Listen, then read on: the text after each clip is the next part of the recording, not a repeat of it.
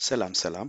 በዛሬው እንግዲህ የምናየው ምንድን ነው የቅጂ መብት ጉዳይና የማህበረሰብ ፖሊሲ የሚባል አለ። copyright issue and community policy። ስለዚህ ዩቱብ ላይ ዝም ብለን promote ማድረግ ዩቱብ ዝም ብለን በቃ ማለት ለ monetization ካልሆነ ምንም አይነት ነገር ብናደርግ ምንም ያን ያክል ችግር ላይፈጥርብን ይችላል ቢዘጋም ግን የራሳችን ቪዲዮን ወይም ዩቱብ ቻናላችን grow up ለማድረግ ከፈለግን እንግዲህ community policy እና copyright issue ን ማወቅ ያስፈልጋል ማለት ነው። ስለዚህ ይሄንን አንደኛ ለምሳሌ እዚህ ጋር ወደ ዩቱብ ሄደን በብዛት ምንድን ነው በዋናነት ዩቱብ እንግዲህ ዩቱብ community policy የሚባለው ዩቱብ ሁሌ የእኛን ቻናል ሊዘጋ የሚችልባቸው ዋና ዋና ነገር እንግዲህ ዩቱብ ዩቱብ ዩቱብ community community guideline ወይም ፖሊሲ የሚል ነገር እዚህ ጋር ብናይ እዚህ ጋር እንግዲህ እንዴት ምን አይነት guideline ኦችን መጠቀም እንዳለብን በዋናነት እነዚህ ነገሮችን ማወቅ አለብን ማለት ነው። ዩቱብ strictly ማለት የማይፈልጋቸው ነገሮች ምክንያቱም ዩቱብ ሁለቱን ነገር creator ኦችንም audience ወይም ተከታዮችንም ፍላጎት ሚዛናዊ በሆነ መልክ ለማሟላት ይፈልጋል ማለት ነው። እነዚህ ነገሮችን ካደረግን ግን ምንድን ነው ቪዲዮችን በሰላም ወይም ቻናላችን በሰላም መልክ በሰላም ማስጠበቅ እንችላለን፣ መቀጠል እንችላለን።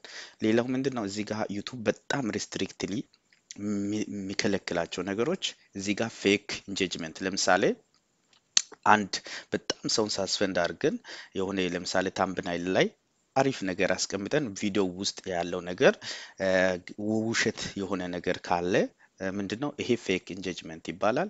ምንድን ነው ይሄ ነገር አንድ ሰው ሪፖርት ካደረገ ያ ነገር እንግዲህ ሪፖርቶቹ collectively ተሰብስበው ዩቱብ ቻናላችን የሚዘጋበት ሁኔታ አለ። ሌላ እዚህ ጋር ለምሳሌ link in content በዋናነት ምንድን ነው ለምሳሌ የሌላ ለምሳሌ ደብሊው ደብሊው ዳት እንደዚህ ብለን comment ላይ የምናስቀምጥ ከሆነ description ላይ ለምሳሌ link የምናስቀምጥ ከሆነ ሌላ ለምሳሌ ወደ ውጭ ከዩቱብ ይዞ ወደ ውጭ outside ይዞ የሚሄድ ነገር ካስቀመጥን እንግዲህ ዩቱብ ይሄን ቻናል ሊዘጋ ይችላል።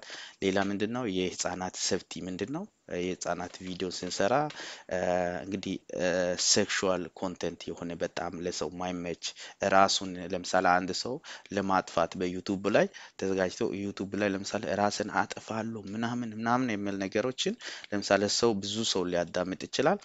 ሌላው ምንድነው firework የሚባለው አለ። firework ማለት ምንድነው? ለምሳሌ በክብሪት እንደዚህ አድርጎ ሰውን በቃ የሆነ ዝም ብሎ suspend የሚሆን ትምህርት ማይሰጥ ነገሮች እነዚህ ነገሮች እንግዲህ በጣም ይሄ fire firearms የሚባሉት ነገሮች እነዚህ ከስር ከስር ያሉ hate speech እነዚህ ነገሮችን ኮቪድ related የሆነ information search ያደረገ monetization አያስቀምጥም። ብዙ ነገሮችን እዚህ ጋር ማየት hate speech ምናምን harmful or dangerous content እነዚህ ነገሮችን በአጠቃላይ ዩቱብ support ሳያደርግ ስለማያደርግ እንግዲህ የዩቱብ community guideline አውቀን ዩቱብ መክፈትና መስራት እንችላለን ማለት ነው። በዚህ መልክ እንግዲህ ይጠቅማቸዋል ብዬ ያዘጋጀሁትን አዘጋጅቻለሁ። በዚህ መልክ አቅርቤያለሁ። ስለተከታተላችሁ በጣም አመሰግናለሁ። መልካም ቆይታ